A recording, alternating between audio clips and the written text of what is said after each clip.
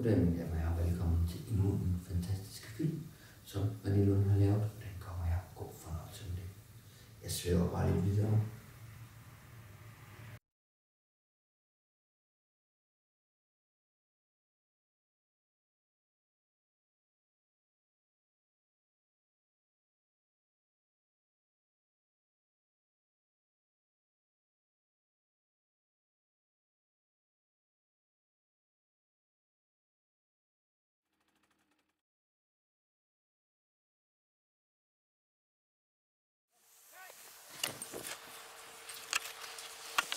Gotcha.